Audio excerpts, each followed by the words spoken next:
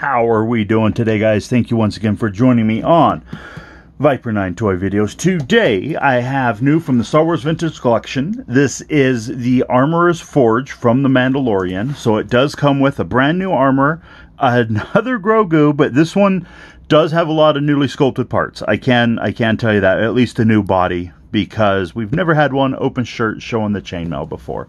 Um, this one here I am fairly excited for. It's not one of the playsets I was expecting from Hasbro, to be honest with you. Be just because you know we've we've been getting hallways and stuff like hallways and cantinas and and something that's that's not as precise if that if that makes sense that doesn't make sense, but yeah.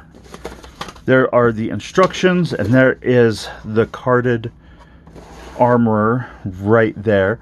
We are, I am going to go ahead once again, split up this video here until someone tells me to stop. So I am going to go ahead and go ahead with the forge, and we will open up, we'll open up that armor up on a, another video.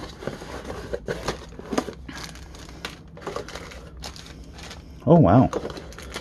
I was not expecting the Mythosaur skull to be a separate piece. I was expecting that to be sculpted into the, the playset itself.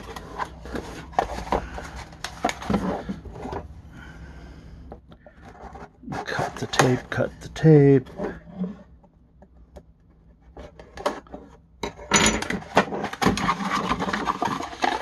There's the pieces to the forge. That's really cool looking. That is really cool looking.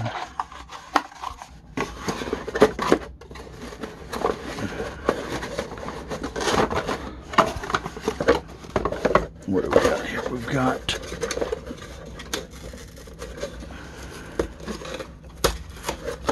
we got bottom there.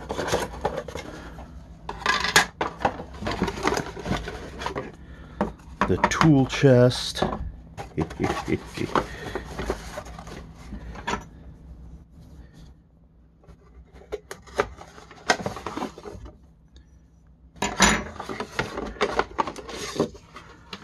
Top, and then of course the back wall.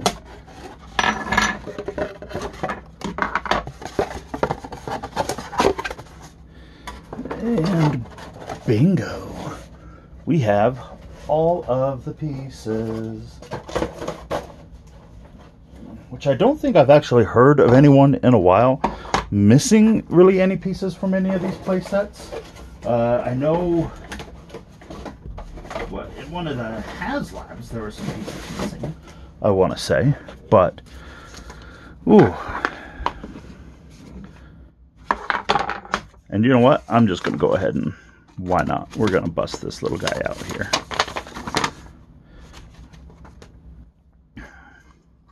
So the bottom goes on the bottom. Who would have known?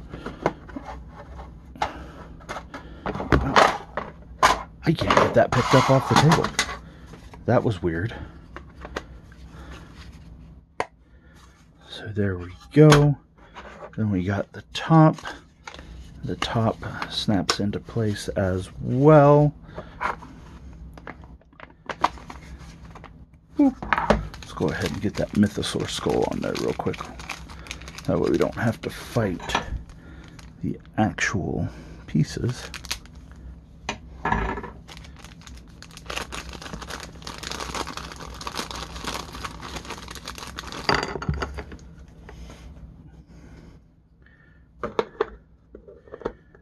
Really do like how that's a separate piece.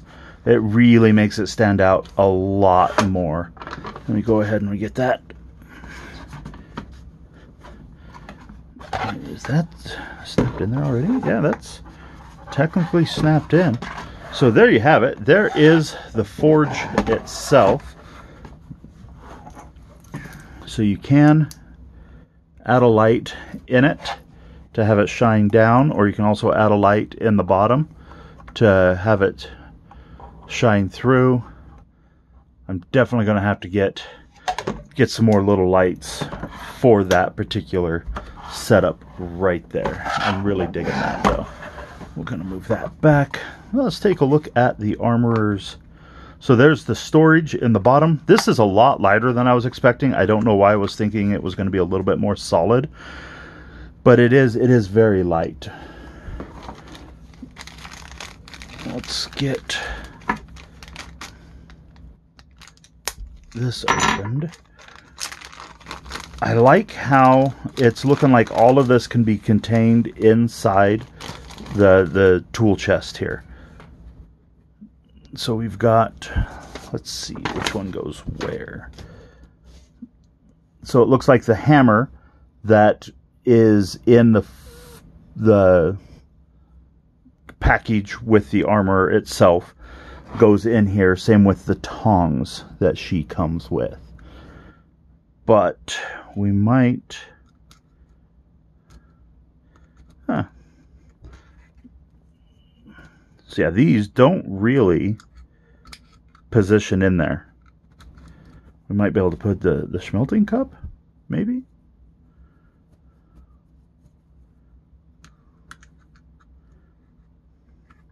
So yeah, the smelting cups fits a little bit, but the, the other tongs in that really aren't designed to fit.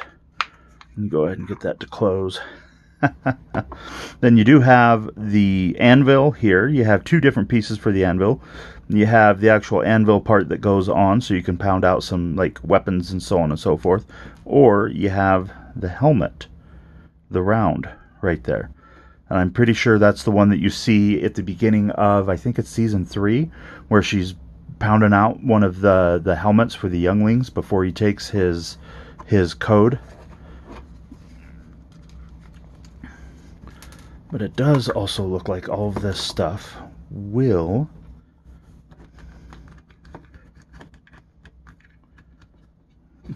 No, it doesn't.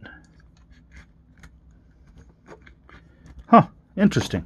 I was thinking all this stuff was designed to fit inside there, but it doesn't really want to fit. But that's okay. Let's go ahead and open up this Grogu here real quick.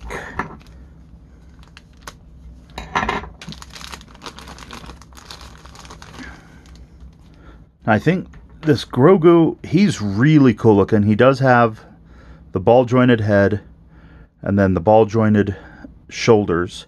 Oh no, I got a little bit of paint wear on mine. I think is he cast in green and then painted? He might be cast in green and painted.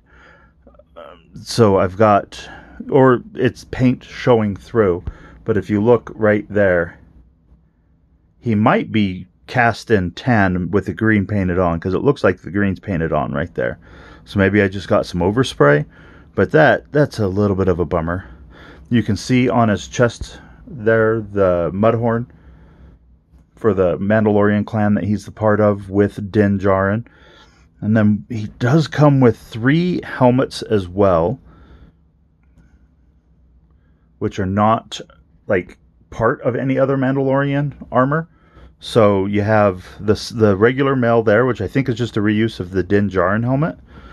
Then you have a, a female, uh, what is that? The, the Spartan style, right there, or the Nite Owl. That it, the rangefinder does move.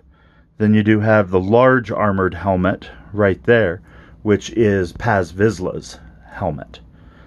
And one thing that I think you might be able to do, might look really good, is if you buy um, two of the Shriek sets, you can swap out these helmets and actually make uh, a whole new, you know, three other Mandos. So you'd be able to change over the helmets on the two males and the female, and boom, new Mandos, more Mandos. Let's go ahead here real quick. Let's see if we can't pop that off so we can go ahead and get a good look at this forge. Go ahead and move that back. I'm really digging how all of this looks. Really need to get some lights. I know a lot of people online were complaining about the top. being unfinished, but I mean, it's in a cave. Like, you never see the top of the forge in the show. You only ever see it from like this angle right here. It's in a cave. So, I'm personally okay with it. Uh, I know, like I said, some people were bummed out, but overall, I'm okay with it, with how it ended up looking. Go ahead and get that camera remounted. Right there, guys, I think I'm going to go ahead and leave that with. Hit that like, smash that follow. Please follow me on Facebook and Instagram so you can see some pictures of this. Oh, no, that's a little bit wobbly. That's a bummer. But so you can see some pictures of this beautiful playset in diorama action. And thank you for watching.